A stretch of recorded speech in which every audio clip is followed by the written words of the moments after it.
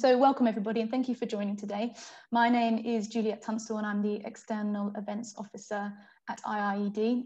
I'm um, really delighted to be here today and excited about this discussion we're about to have on capacity building for climate action and ambition. What have we learned? So today's event is co-hosted by IIED and the International Centre for Climate Change and Development and is also part of the London Climate Action Week series of events happening across this week. There's, there's been lots of exciting things um, going on, but we'll hear more about that later. so we're expecting quite a few participants today and excited that we've got people joining us from all over the world so that is it from me. I think I'm going to hand over now to Andy Norton, IIED Director, who's going to give a couple of introductory remarks. Thanks very much. Many thanks, Juliet, and um, welcome everyone, and particularly to our great panel and, um, and our moderator, Saleemul Huq, who I'll hand over to in a minute. Um, I'm Andrew Norton, Director of IIED, uh, just to say a few words of introduction for this event, which we're all really looking forward to. Um, it's part of London Climate Action Week. Uh, many thanks to E3G who have uh, led the charge on setting up the event and IIED is delighted to be involved in a series of events during this week. Um, it is also importantly part of a series which we host jointly with ICCCAD, that's the International Centre for Climate Change and Development based in Dhaka, Bangladesh, um, on the climate crisis and links to COVID-19, uh, particularly green recovery and coming out of the pandemic. And it's been great to do this series with Salim and his colleagues. Um, so I'll say a few words about emerging messages um, around that topic um, from London Climate Action Week and also from uh, previous work and events. Um, green recovery, it's important that we see it in terms of tackling multiple challenges, not just climate, but also inequality, development, and biodiversity loss. Um, but to achieve that and to do a green recovery out of the pandemic effectively in due course, um, it will be critical that finance is equitable and resources flow um, to the least developed countries and other vulnerable countries um, and in sufficient quantity uh, to fund that recovery and also support people in the crisis. Um, but it's also absolutely vital that resources reach the grassroots, the front, front line of these um, crises of inequality, biodiversity loss, and climate. There is also a trick involved to making this work, um, which is that you have to be able to reach people who are in distress, um, particularly from the economic and livelihood impacts of COVID-19 now, um, but also do so in such a way that you effectively build a green and resilient future in the longer term. So this is a considerable challenge, but a compelling one uh, the world over at the moment. Um, moving to this event, um, one of the things which is particularly important is to have effective capacity at the grassroots level. So we're very much looking forward to these thoughts about capacity, not just in a technocratic sense for implementation, but also capacity for leadership and capacity for agency. That's really the kind of capacity building we're talking about here. So with those few words, I'm delighted to hand over to Salim, who will moderate today's session. Great. Thank you very much, Andy, for those uh, words of introduction. It's a pleasure uh, to be in one of our uh, joint uh, webinars, IIED ICCCAD once, and also be part of the London Climate Action Week for this year uh, in, in this series as well. Uh, the topic we have today chosen to speak about is on capacity building, particularly in vulnerable developing countries, particularly least developed countries, but not exclusively LDCs. And uh, I'll very briefly introduce our four uh, excellent panelists, and if they can put their cameras on, uh, and then I will go to them. The first one is Danise Love Dennis, who is with the Environment Protection Agency in Liberia.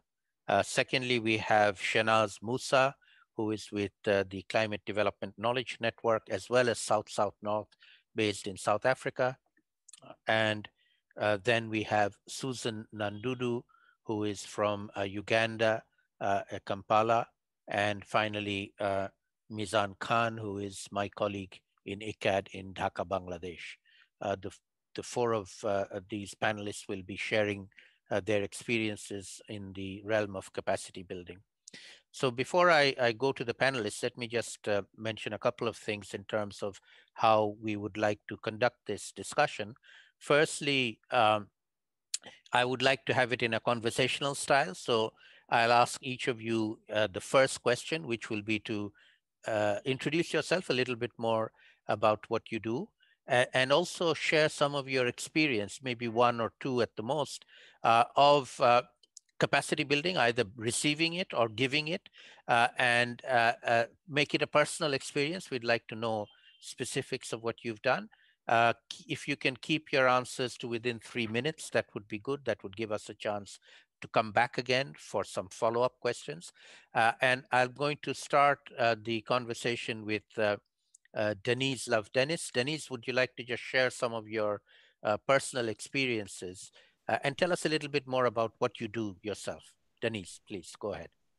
Thank you, Salim. Um, like you rightly put it, my name is Danise Love Denise, and I work with the Environmental Protection Agency here in Liberia. And my involvement into capacity building dates back in 2018 when I first uh, received an invitation through my focal point, Mr. Benjamin Karmorh, um, to participate in the European Union Capacity Building Initiative. That is the ECBI for short. So ever since then, there was a kind of interactive section that drove my attention and I decided to join, uh, there was a group section that has to do with capacity building, fund and everything. But then I chose capacity building because I believe capacity building is a, um, is a bedrock for every developing nation. So as a young person coming up with interest in this climate change issue, I think that the issue of capacity building is key and it will help um, us reach up to some issues that have that we actually face in in our country. So with this, um, it also serves as like a strengthening national capacity to enhance um, the transparency element that relates to the Paris Agreement. So that's where my in, in, in interest came from.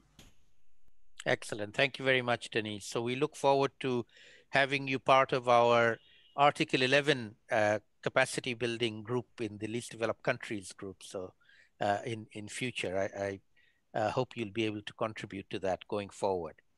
Uh, so let me now turn to Shehnaaz Moosa, who has a lot of experience, not just in least developed countries, but across the world uh, through the CDKN program that her organization South-South North organizers. Shehnaaz, would you like to share some of your experience and maybe give a little bit more of your own introduction as well? Yeah, thank you, Salim. I'm Shehnaaz Moosa from the Climate and Development Knowledge Network, which is a program that is run from South South North in Cape Town, South Africa. It's one of a few programs that we run and what I'd like to just talk to is how we almost accidentally stumbled into capacity building. So we're into the second phase of the Climate and Development Knowledge Network, where there's a very strong focus on capability building. And we call it capability because of the legacy of the word, word capacity. Capacity has underpinning it a one directional flow. So it looks like workshops, it looks like training events. And what we do is quite different to that, where it's very much a peer to peer sort of um, engagement. And in our first phase of CDKN, the, the program then and the program now is completely demand driven. So we went out and tried to ascertain what the demand was and more often than not, it was demand for building capabilities in certain areas. And that's how we then evolved into what we are now, which is a knowledge brokering capability building program. What we've learned in this phase of the Climate and Development Knowledge Network and in one of our other programs, which is the Southern Africa Climate Finance Partnership, is that the scoping of the program is very, very important. And often when you're putting in a funding proposal for a capability building on, on knowledge management program, you don't realize it can take up to six months to scope it properly. So where we where we actually learned a big lesson with the CDKN was that we had a three month inception, and actually our scoping phase took six months, and we had lots of um, engagement with our recipients and and more and it was about laying the ground for what is the capability that needs to be built and how is it done in a mutual partnership way? Um, so, so that one of the drawbacks of that was that we were behind a spend, but we had solid relationships, a solid understanding of what the capability uh, needs were. And we're now in the position where, where the implementation is just ramping up dramatically and we will deliver the program to budget and to deadline. So I think there's lessons for us as program implementers, but there's also lessons in this for the donors who often um, want us to jump into a program and implement without laying that solid, solid relationships and understanding down. So for me, I think in the years in the sector, it's uh, what I've learned, and the, the, the, the gold in it is the relationships that we need to build solidly. Great. So thank, thank you, you, very Salim. much. Thank you, Shehnaaz. We'll come to lessons uh, in the second round. So we just want to um, get a little bit more of an understanding of who our audience is in the room today. Um, so great to sort of learn how, if you've had experience in capacity building initiatives before and what type of role you have. So we have uh, a majority of uh, a plurality of implementers, 45%, participants, 32%, observers, supporter, 30, and we have some others and none as well. So uh, let's now move on to our third panelist, who is uh, Susan Nanduddu from Kampala in Uganda. Susan, tell us a little bit more about yourself and, and share some experience in the capacity building uh, uh arena that you have been involved in. Thank you, Salim, and thank you for having me. Um, so my name again is Susan Nanduddu, and I am here in Uganda. We, I work with an NGO called the African Center for Trade and Development, which I lead. And um, I'll speak to you about the CLACC, which is the capacity strengthening for least developed countries in adaptation to climate change initiative that was a 10 year capacity building initiative, which um, I was a part of. And I just want to emphasize 10 years. It started as far back as 2004. And um, this, the way it was organized or arranged was um, IIED managed it. And we had 15 partners in the global south. So about three in Asia, and we had the others coming from Africa, West Africa, Eastern Africa, and Southern Africa. It was a great learning opportunity, um, which, like Shehnaaz says, it, it, it, didn't follow just a workshop format. CLACC um, worked as a fellowship. So we worked as uh, fellows. We had 15 fellows across all um, uh, these regions. We met regularly and we are speaking about capacity building in the era where climate change in Africa, for example, was not yet an issue. Um, it was just emerging, the conversations were held amongst a few people. And so CLACC became such an opportunity to build knowledge um, amongst the individuals who were 15, but we used the trainings that we had on a regular basis to train others. So um, because it was a program, we were able to host um, several workshops in country uh, which were benchmarked on various trainings at the global level. We would meet uh, to have trainings of trainers, we would meet to have short courses, we would meet um, every single year under the conferences of parties of the UNFCCC and hell, you know that uh, that's a great opportunity to learn. If you're going to be in the COP, you're effectively participating, you need capacity building. So that was a great opportunity, not to learn in a workshop setting alone, but to learn from others, to, to interface with processes of negotiations, of policy making, and that has translated back home in all these countries where we, we participated. I, for instance, in, in my country, I sit on several um, government-led platforms um, around climate change. Uh, there's one on adaptation, one on climate um, capacity building, and so ability to shape policies and um, also to influence others to learn, but also participate. I think I'll leave it at that for now. Great, thank you very much, Susan. And and uh, uh, having known you from the beginning, I, I can see that you have uh, become a capacity builder now in a big way. Thank you very much, and I'm very proud of you. Uh, let me now move on to our fourth uh, uh, panelist, my colleague, Professor Mizan Khan, who uh, wears many hats, but I think a, a, relevant hat here is also coordinates the uh, LDC Universities Consortium on Climate Change, LUCCC or LUC for short, which uh, my center in Bangladesh uh, coordinates, and Professor Mizan is our uh, in charge of that. Mizan, would you like to uh, maybe introduce yourself a little bit and then share some of your reflections on your experience? Let's start with experience. We'll go to reflections and lessons later. Yeah, thank you. In fact, for the last almost 20 years,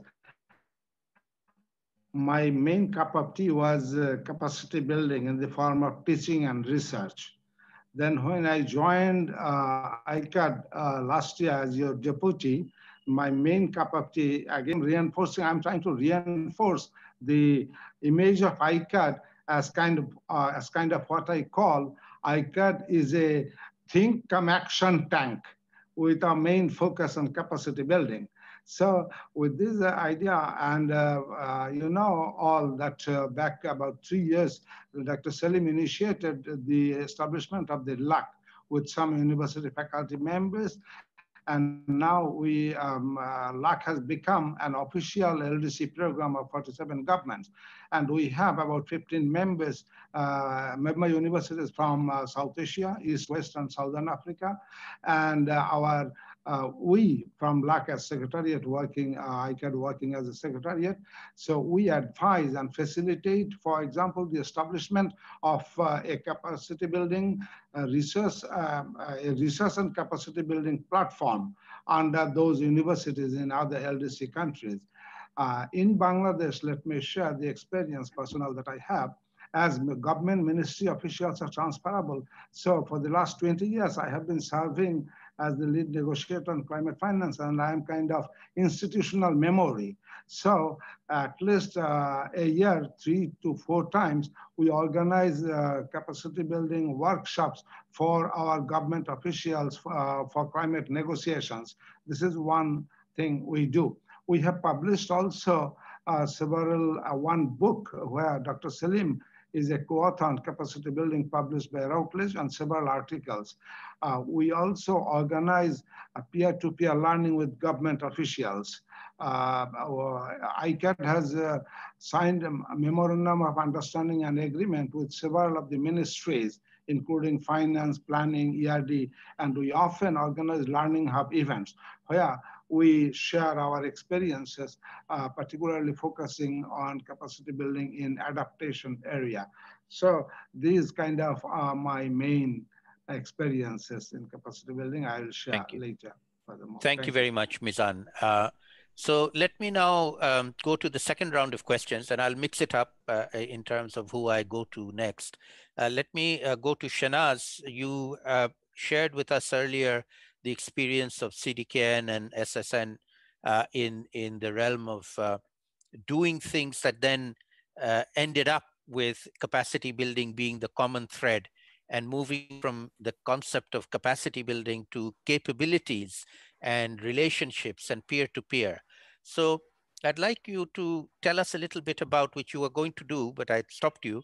Uh, what kind of lessons do you think uh, future programs, particularly donors, funders, who are thinking of investing in capacity building programs uh, might want to take on board. So uh, a, a, bit of lesson learning, experience sharing, uh, if you don't mind. Shehnaaz.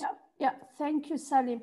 So as I mentioned earlier, and I, and I did get a bit carried away when I was, uh, yeah, because it, it's very close, dear to my heart, is the first lesson, I think, is that thorough scoping is needed and that this needs to be accounted for.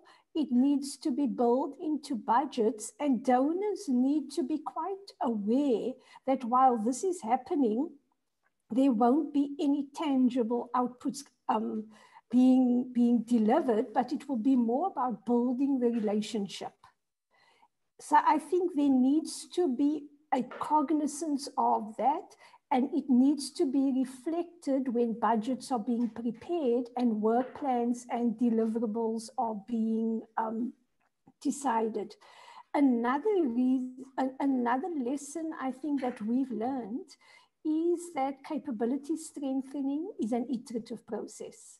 And an example of this, and my colleague Mary Dupont very kindly shared it in the chat box, is a game that we've developed with the Ethiopian government, but just to talk you through the process of that, so, so you get the feel for what these iterative processes look like, how your program has to be nimble and adaptive, and how the donors need to be cognizant of this and not hold you accountable to a very linear delivery model. So in CDKN phase two, the Ethiopian, the country program work we do there was around mainstreaming gender and climate change. And gender was a priority agenda for government, and CDKN was able to offer assistance through local, a local climate and gender expert on how best to improve the mainstreaming of this cross-cutting issue into their climate change priority sectors, institutions, and projects. So again, an initial scoping report explored the current situation across the main federal government institutions. This report was then used as an input to a workshop. So we'll see here, there's the scoping, there's a report, then there's a workshop. The workshop brought together several ministries of government as well as a number of departments within ministries that did not normally engage. So for example, the gender and the planning departments, again here, it, it's looking beyond what you normally do and opening up the circle and being adaptive. So this led to improved communication with parties intending to improve, and it, it, it improved coordination. It further served as a launch board for the development of a gender coordination platform, and CDKN is using this as an entry point to develop a gender resource pack that is responding to the capability building needs of government. This resource pack is going to be tested now in November at a training of trainers event. And then from here, we're taking this further into 2021. So this whole work takes long and you need to be adaptive and the process is very iterative.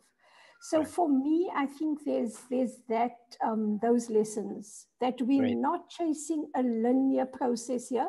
We need to be adaptive and we need to realize it's a complex process. Yeah. Absolutely. Thank you, Thank you very I much. I think I got carried away again. You, no, no, you, uh, it's always good to hear people yeah. speaking from the heart and with passion.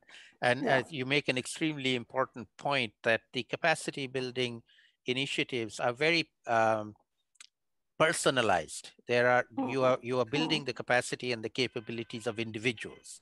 And so I'd like to uh, turn to Susan now, whom I've known for many years. And when we started working together, when she became a CLACC fellow, I used to run that program in IIED. She used to work for one organization. She's since been moving on and doing lots of different things and has increased both her own capacities and also helping others build capacity. So Susan, a little bit of you know, reflection using your own experience of how over time you were able to improve, enhance uh, your ability to work with others in different organizations and government, non-government, uh, different arenas, uh, and, and how you navigate that over time as an individual, uh, a person who is build, going up the capabilities ladder, if you like. Susan, please share some of your reflections. So it's been a pleasure working with you, Salim, and learning a lot from you. One of the learnings I've carried is storytelling and still learning. Uh, we always said, you always told us that um, sharing stories is important. And so um, how have I navigated the learning uh, across?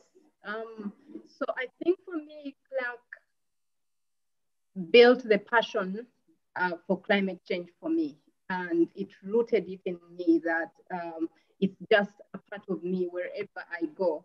Uh, most people will know that uh, anything I do is around climate change.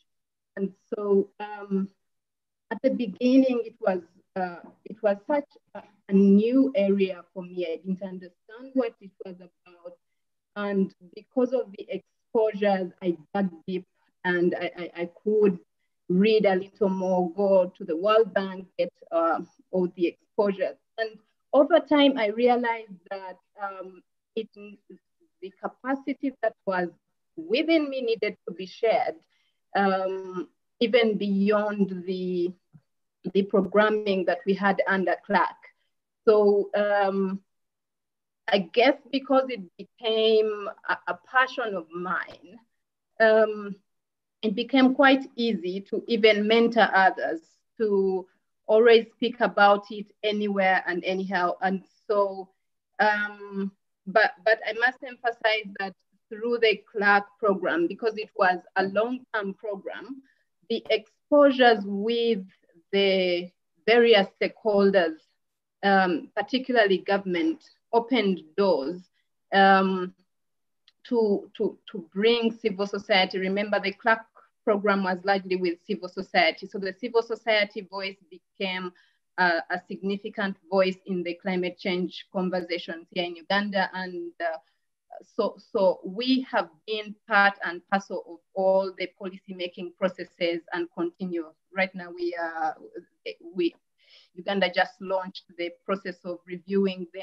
the NDCs today, and uh, we are part of the process. So um, I, I guess that the core is that as the individual, the human is, capacity is developed, there is no limit to where that capacity can go. And you, you carry it with you. Um, so in the organization where I am right now, there was no climate change work when I came and I was able to integrate it into the work. And now we have a full program on climate action. Um, I know several other CLACC fellows who have moved into spaces where they have influenced the institutions where they work to even attract funding into programming for climate change. So, um, so it's really critical to individual, the capacity of the individual because it expands into other spaces. Thank you, Salim. Thank you very much, Susan. And, and uh, I hope you continue to do this good work that you've been doing for so long. Uh, Danise, let me come to you now. You're, you're the youngest uh, negotiator from Liberia, I understand, and youngest amongst the panelists, and you've just started uh, your career recently. Uh, and you've been the recipient of uh, capacity building. You mentioned ECBI, and I'm sure there have been others. From your perspective, what kinds of things do you find as the sort of uh, the recipient of information, knowledge, capacity building, training, whatever efforts are made? What do you find most useful? What what is, from your perspective, things that you find uh, that are uh, uh better than others, if you like? Danise, please. Okay, Salim. Um, thank you so much. Um, so, like from what I said from the onset, it's like capacity building indeed is the background for every developing nation. like when I started, I, I knew nothing about climate change actually to say. So joining the process of um, the ECBI, it has opened my mind and opened my own interest in getting to know what it is and what action can be done. So it is against this backdrop that I show key interest in seeing how best networking can be a key factor and in exploring what it is that I, I want to see as an action. So with this, we were able to um, show interest and serve as um, bursary holder for the, the, the ECBI and I can say IIED as well, because um, it just did not give me a platform wherein I can just visit, um, stay in country, but it also created a platform that I was able to participate in the international conferences. So that I was able to, to, to join so the Bonn, I was also able to join in Poland as well as the recent one in Madrid. So the networking aspect has been key because um, what we do is that when your capacity is built, it's not anything for you to stay to stay on it, but sharing your other platform and see how best you can have more people involved in the process is the, that's that's key. So that when you shall have left the field, maybe probably by death or something, that something someone that can continue to to to build on what you what you've seen. So the issue of, of training, which is key, as well as public awareness and education, with the issue of um, peer-to-peer exchanges. When I say peer-to-peer exchanges, it's kind of key because it gives you an opportunity to actually tell your fellow colleague what it is like and what's intervention. And with that, other people can understand the processes that of which you're going through. Being a GM um, negotiator, a GM negotiator for my country is like a dream that I saw and I wish to, I really wanted to be there. At this juncture, as I speak to you, I'm not just um, writing press releases. I'm not just writing um, brochures or doing brochures and everything, but I'm also involved with the country's um, own plan when it comes to for climate action. For example, I'm also with the, like I said, with the national determined contributions, but I'm totally involved in it, giving my input, and there's a lot that I'm learning within the process. And as also um, there was a there's this program, the Climate for Action Empowerment, which is key and the clamor for, for, for, for, for action empowerment take a key look on empowering people to see how best they can actually respond to this climate action. So my uh, involvement with my national delegation at COP and now being practical on the ground is a key lesson that I can say that I've learned because it also helps uh, to strengthen uh, national capacity as well as looking at the facilitation of technologies development and the dissemination of, of this deployment as well. So communication, it also links to the same thing that has to do with um, capacity building. Thank you, thank you. I can see we have a, a budding climate champion at the national as well as the global negotiations in you, Danise, and I look forward to tracking your career as you grow uh, in that. Uh, let me now finally ask, uh, uh come to Mizan for the final question in this round, but we also are having questions uh, asked in the Q&A uh, box. So I would ask all the panelists to take a lo look at those questions. And in the next round, I'll ask you to pick a question and answer it. But let me ask uh, Mizan to share a little bit of his reflection based on a huge amount of experience on capacity building on some lesson learning going forward. So what do you think are key elements to put into the design of capacity building programs uh, in the future, particularly on climate change, uh, from your experience? Some key lessons. Yeah. Uh, one key lesson that I uh, share first is that capacity building is not a discrete one-off act.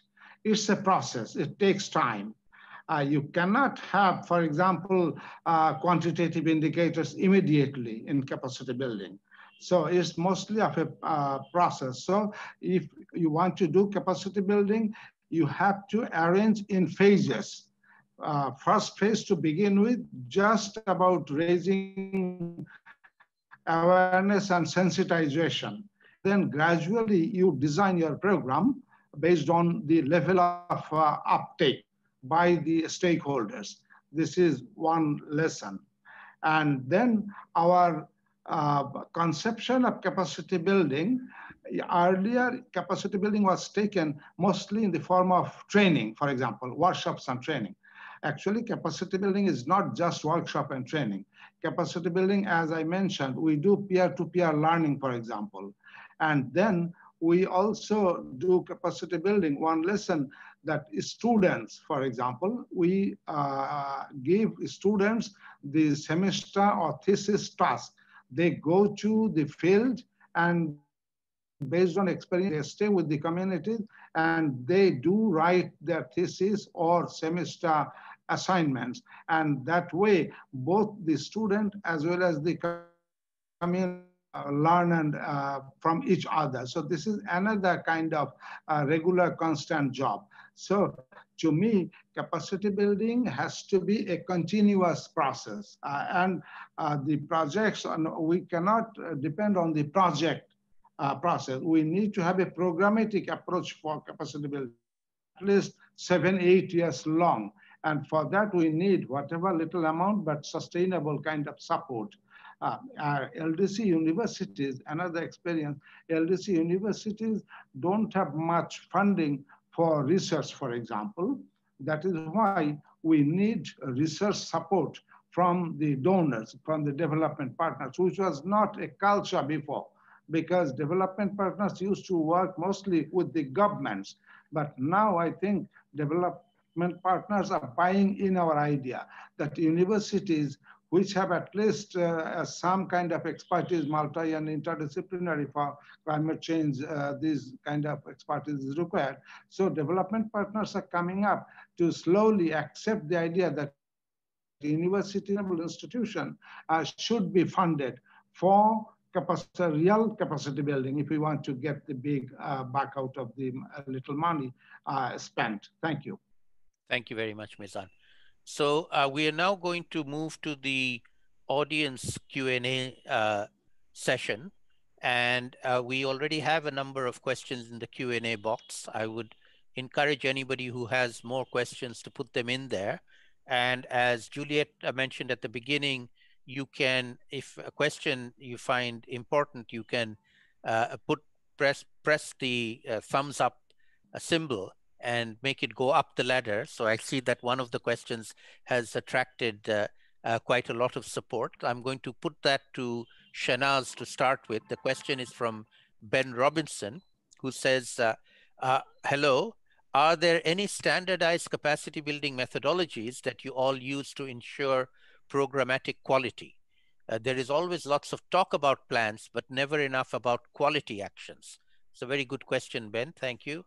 Uh, Shehnaaz, um, any, any reflections you. on that? Yes, yes. So thank you. And I think part of it is that, so I'm breathing because it's mm-hmm. something we've thought about also quite a bit. There is no cookie cutter methodology. So it's all often demand driven. It's what is needed, what you decide to respond. And maybe that's the methodology, which is a responsive approach. I think what we like to um, advocate is the peer to peer where where you where you get people possibly from Latin America, Asia, and Africa together to share learnings on on similar issues, and often that sort of methodology, the peer to peer, has a more lasting impact than having workshops where a consultant flies in, does the workshop, and then leaves. So I think in terms of an overarching methodology, I'd like to advocate for the peer-to-peer learning with after that, where people stay, where you form almost like community of practices, where people stay engaged and where they can keep conversing about the issues that's facing them and looking for solutions. Great, thank you very much. Partly answered. Thank you. Yes, that, that's excellent. Let me uh, now uh, take another question, which is for Professor Mizan. I'll read the question, Mizan, and then I'll ask you to uh, answer it. It's from Mairi Dupar from CDKN and ODI. Uh, the question for Dr. Mizan Khan is, how do you balance demand, quote unquote demand, for specific types of capability or capacity building and knowledge exchange with supply, again, quote unquote, supply gaps that you perceive, especially with the peer-to-peer -peer exchange among government officials, as you mentioned. For example, what if they don't have any interest whatsoever in learning about gender, youth, and disability issues in climate ad adaptation, but you think that it is an important issue to bring up and increase their knowledge and skill? Uh, how do you navigate that? Interesting question. Mizan, let's share some yes. thoughts on, on that. Yes, yes, thank you. You know, uh, as a, half economist kind of my original uh, background was economics. Now i call myself half economist. Demand and supply are very important issues. Okay so for, uh, it's the demand that drives supply. So how to generate demands for example in peer-to-peer learning or uh, we uh, always interact with government officials. Nowadays compared to earlier years for example uh, we find young generation is much more interested in learning, uh, even if they have permanent positions. But this young generation with at least a master's or PhD from some good universities, most of the government officials nowadays have at least a master's program from good universities. So they have already the appetite for learning and we encourage them. And they also get the benefit because in government offices, if someone, not just as a bureaucrat, can serve as an expert, that gives them an added edge over other peers. So government officials now understand uh, the beauty and enjoy uh, the beauty of these uh, having expertise. And the supply side, once we get to know the demand, then uh, we uh, manage, arrange the supply. In Bangladesh, we can tell we have compared to many, not just compared to the LDCs, but compared to many LDCs, we have good, good expertise. Uh, in climate change management, starting from negotiations skills down to particularly adaptation skills. Because Bangladesh is kind of uh, uh, a country with age-old experiential learning. So many other people and other countries are learning from our adaptation model. So, we have not much problem in the supply of uh, kind of knowledge and expertise. And as I mentioned, government officials now understand that if they can develop expertise in certain area, they can have better even professional positions. Uh, they can go on secondment on leave and go to uh, serve the international bureaucracy for two, three years, and they come. And many Bangladeshi government officials nowadays are availing that opportunity. So there is kind of an inherent uh, demand, which was incipient before, which was dormant before, but now it's coming up. So Thank you. I find no problem. Thank you. Thank you very much. So the eternal supply and demand problem, we have to find a way to balance it uh, well. Let me yes. uh, take the next question, which is also from Mairi Dupar uh, from CDKN and ODI, and I'll, I'll, ask Susan to respond to this one. Uh, it's a question for all speakers, but I'll give it to Susan first. She says at ODI, we are quite concerned that the language around capacity building in international policies and frameworks still has some colonial baggage, quote unquote, around it. See our decolonizing development series. Uh, she's given a, a, a, link to the ODI uh, paper here. Uh, uh, of course, Dr. Huq, you have been at the forefront of reframing and subverting this notion of capacity building completely, and Shehnaaz has mentioned it, but it seems we cannot reject the phrase of capacity building completely. The language is hardwired in the Paris Agreement. Thoughts about terminology and what we do with it. Susan, um, any thoughts on this? You, you, you uh, are aware of this issue, uh, and you are also a practitioner yourself. So how do you navigate between these uh, uh, use of terminologies with a, a sort of colonial uh, tinge to them? And how do we then move on with that uh, in a practical way? Susan. Um, thank you. It's a very, very important question. Now, um, I have found that in the climate change space, the, the terminology. Now when you are with communities terminology doesn't actually work. You are really speaking uh, about the same thing communicated differently. Um, so i i prefer as a personal at a personal level to, to have my contribution more at at the grassroots where uh, we, we really want to see action, where we really want to see um, utilization of, of, of the capacity and also the ability to attract the resources to get the, the capacity where it is needed. Like Shehnaaz says, it should be demand driven, where a community or a community of practice needs um, a, a, certain set of capacity to strengthen, um, then it should be supported with funding and the technical expertise. So um, as a person, I, I, I don't dwell so much into the semantics, uh, but I like that Saleem, you have always done the bridge for us. The capacity strengthening would be a more appropriate terminology, terminology for me because it is always evolving. Um, I, I can't say that at CLACC, when we started, we were speaking about capacity or understanding, just understanding capacity, uh, adaptation to climate change. Today, we really need more capacity in attracting financing. So um, as it evolves, it is capacity building, it is capacity strengthening. So I will leave that to the scientists to, to, to give more um, uh, analysis into. Thank you, Saleem, over to you. Great, thank you, Susan. Uh, uh, wonderful practical experience. I think that is that should be the the the higher level rather than the semantics of what words we uh, choose or don't choose. Uh, let me turn to Danise now. There's a question which is for all participants, but I want to ask you, especially in the situation that you're in in Liberia, um, about the impact that COVID is having, COVID-19 pandemic. Uh, those of us in, in Asia, we are hearing that in, in uh, Africa, it's not as bad as one had uh, anticipated. And one of the reasons being put forward is your experience already with the Ebola outbreak and, and pandemics more generally, and also a younger population. So would you like to just very quickly reflect on uh, uh, what what is happening? Tell us a little bit about what's happening in Liberia, and then your reflections on are there some lessons here in dealing with the COVID-19 crisis that are also applicable to the climate change crisis?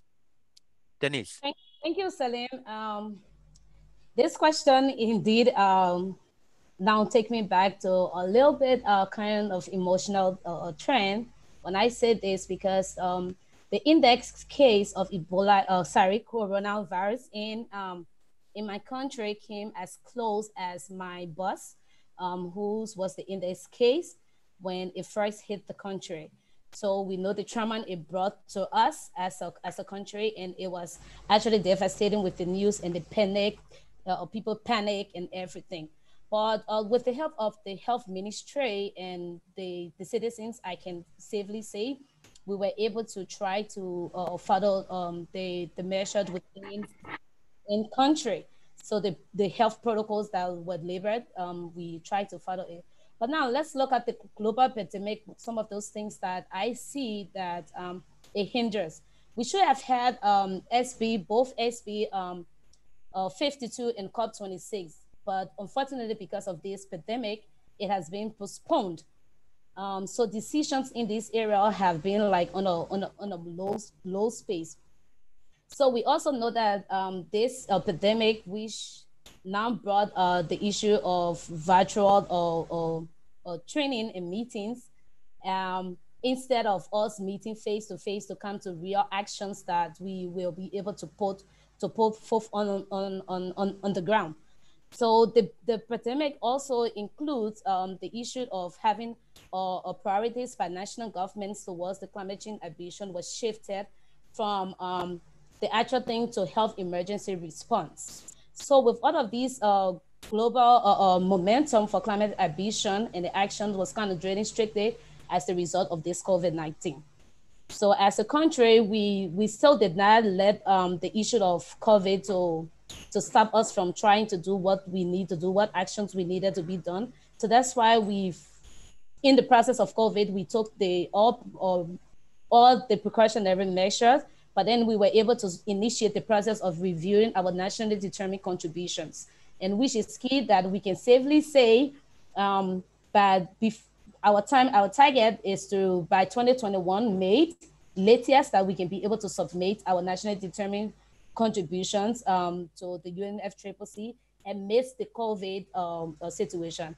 The cases in Liberia right now is not on the increase as it was, but we can also tell you that we we're still following the precautionary measures and trying to ensure that climate actions, which is key, to be taken into actions. Thank you, Danise, for that that wonderful experience. I know that situation in in Africa generally and Liberia is extremely important for us. Um, let me now shift the conversation a little bit uh, towards uh, looking forward to COP26 in particular in the UNFCCC process. And I'll, I'll ask Mizan uh, to start this. And if we have time, hopefully we can hear from others as well. Uh, in terms of the capacity building issue, uh, how do you see this featuring in COP26 and in particular beyond COP26 in the stock take that is going to take place? I think this is something that um, perhaps we can collectively put our minds towards uh, thinking about a stock take on Article 11, which is the article dealing with uh, Article 11 of the Paris Agreement, which is the article dealing with uh, capacity building, whether or not we can collectively do some good lesson learning and uh, recommendations to the UNFCCC process, if not by COP26, but definitely by the stock take. Uh, Mizan, any thoughts on this, how we might take it forward? Uh, yes, uh, together with you, I have been working uh, on capacity building at uh, the last few COPs, starting from 2017. We have been organizing capacity building day. And now we work very closely with PCCB, uh, which uh, is a body under the UNFCCC. and we organize many different events, week-long events. So, and also under PCCB, there is a network. We uh, are part of this network and we extend, we need to extend these networks. There is, a, again, the Santiago uh, network. Um, so we uh, need to extend this uh, capacity building networks because, uh, as I always tell, that more than two thirds, 75% uh, of the NDCs have put the building as a condition to implementation of their NDCs. So this shows that earlier capacity building model uh, through the technical assistance program didn't work well. So there is a paradigm, there is a, the need for paradigm shift and Article 11 together with Article 12 and 13 gives us that potential to shift that paradigm. And we need to upscale these. And how can we do that? As I mentioned, that uh, earlier capacity building targeted to government officials did not work much because government officials are transferable. So we need to have sustainable capacity breeder, what I call, and universities can serve as the capacity breeder. Governments come and go, but universities will stay. So we need to strengthen universities. And I think at COP, we can organize side events to uh, raise this issue, our voice louder, that government uh, role will be there. Government will serve as the administrative hub and coordinator of all these activities. But universities should be put at the center. So this is our message and we need to uh, continue our message at uh, COP26 and also beyond. So this is my Thank you submission. very much.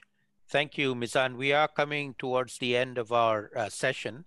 Um, I know that there are quite a few other questions in the Q&A box. I'm afraid we may not be able to answer all of them, but we will keep them on record. And, and if you give us your contacts, we'll try and send you answers uh, individually uh, if we can.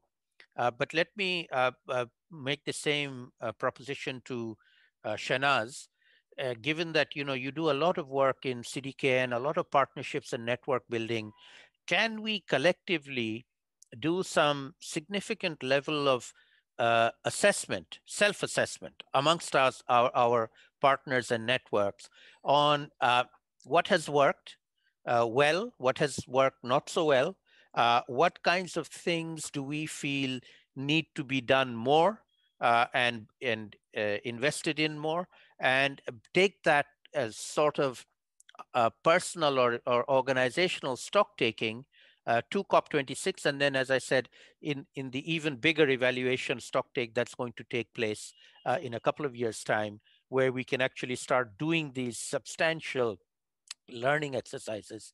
Uh, and we can do this very easily with the Paris Committee on Capacity Building, which is the, the institutional structure under Article 11, with whom we have a very good relationship. And I'm sure they would be very open to us offering to do this.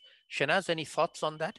Um, so Saleem, I think completely it is something that that I feel should be done. It serves as a baseline from where we then move forward.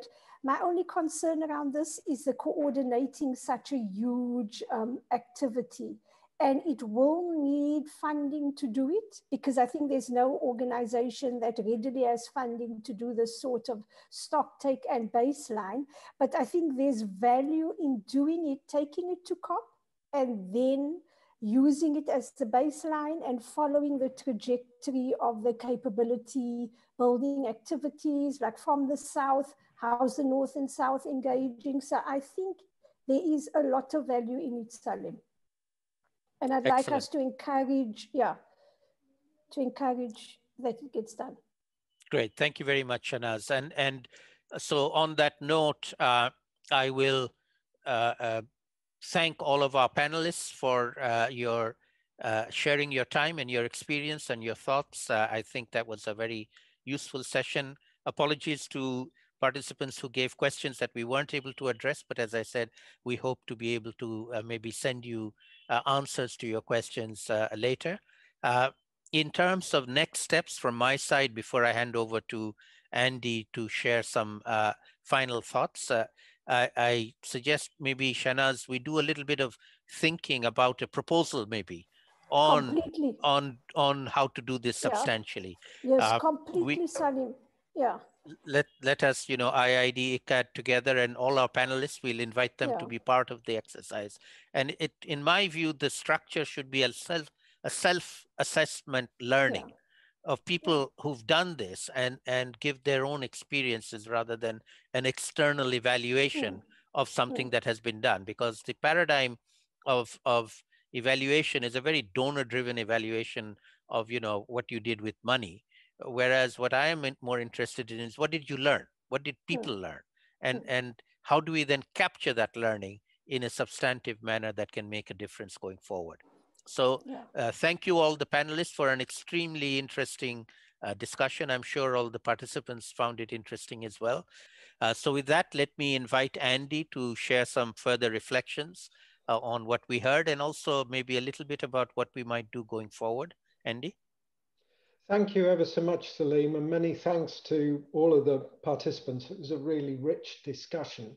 I think what emerged for me, just quickly, without um, sort of going over the ground you covered so ably, um, is a sort of distinction between uh, business as usual understanding of capacity building, where it's kind of uh, driven by external top-down donor kind of project timetables and project designs with kind of rigid deliverables, um, and without by short-term sort of timeframes and without a real view to building capability for the future, not just capability to implement, but capability to lead and determine agendas. And Saleem, the work you've done down the years with ICCCAD, but also with IIED is really exemplary in that sense. We've heard about uh, the Universities Consortium, the LUC, but also the CLACC Fellowship Program vividly from Susan that was um, so great really in developing a generation of leaders. So on the other side, you've then got this kind of business unusual concept of strengthening or building capability and capacity, which is about networks, horizontal and mutual learning, um, complex nonlinear processes. It's also personal and human, as we got the stories today, um, patient and long term, um, and requires patient resourcing and patient funding. Um, I think that's really critical to it um, to build, if you like, leadership in new sites, um, particularly grassroots sites. And building communities of practice, I think that was a term that Shehnaaz used, and it's also iterative and involves learning from the grassroots and learning from experience. So um, maybe the big challenge, Saleem, is how to get a shift in that understanding in um, fora like the UNFCCC, where the language is embedded, but many people come at it with a business as usual perspective. So how to get that shift. Um, I don't have, I mean, I'm very happy that we join um, the initiative that um, Shehnaaz and you just proposed. Um, and in terms of taking this work forward, I think it's a question of continuing to learn from what has worked in the past. Um, I think we all know when this tastes and smells and feels like something that genuinely builds capacity. So it's how we can draw the lessons from that um, and take them into, you know, the fora where it matters, which includes donor culture and practice, but also includes uh, the UNFCCC where the language is embedded. So it was a really, really rich discussion. Um, and huge thanks to you, Saleem, for steering it so well. And huge thanks to our panelists as well, to Prof. Mizan, to Danise, to Shehnaaz, and to Susan. It was just great. Many thanks. Thank you very much, Andy, for those uh, uh, words and, and also for your willingness to uh, take this forward. Let's, let's do some constructive brainstorming on that. So before we close, let me just share a few thoughts. I'm not going to try and summarize the discussion, but try and think about how we might take things forward. And in the chat box, I've put in uh, a, a, website called Gobeshona. Gobeshona is a Bangla word for uh, research, and it's a platform of a number of universities and research institutions based in Bangladesh, where we hold an annual conference every January.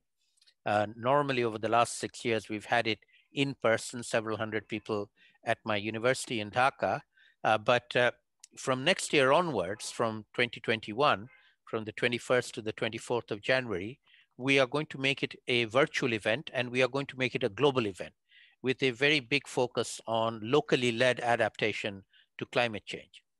And we, over the years in ICCCAD, we have uh, done lots of short courses and trainings. We run a master's degree in climate change and development. And we have several hundred alumni from all over the world who have uh, participated in some of our capacity building activities and we stay in close touch with our alumni. So uh, for us, the, the training and learning is just one step in a long-term relationship. And so we are going to be using our alumni all over the world to help us run sessions on a 24 uh, hour over four days uh, basis with sessions aimed at different geographies, including Eastern Africa, Western Africa. We may do them in French for West Africa. We'll do them in Latin America and Spanish, etc. And so I would like to invite anybody who's listening and participating here uh, who would be interested to look up our website. Please do join us in the Gobeshona conference in uh, January next year. And not just the one-off conference in January next year, which is 2021. It's the first year of the new decade. We hope to use this as a launching pad for the next decade of next, next 10 years of developing our capacity at speed and at scale to deal with the impacts of climate change. And we'll make this an annual event every January. We'll come together, we'll take stock, we'll see what's working, what's not working, and how can we speed up and expand on the work that uh, everybody is doing. And it's very much based on individuals taking uh, an interest and doing things. So one of the questions uh, was on what happens when you train people who aren't interested. If somebody's not interested, there's not a lot you can do about it. But if an individual is interested, then there is a lot you can do to help uh, expand on that interest, in, invest in that interest, and enable people with that interest to take things forward.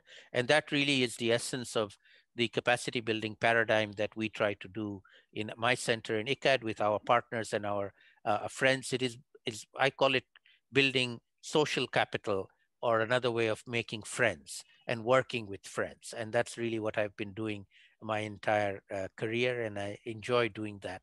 So I'm going to close by inviting everybody who's on this call, and particularly the panelists who are with us, uh, to join forces with us in planning the Gobeshona conference and in taking us beyond January 2021 uh, to take us to 2030 on a 10-year journey of building capacities at scale across the world, but particularly in the most vulnerable developing countries, which is where we have uh, the greatest interest from our side.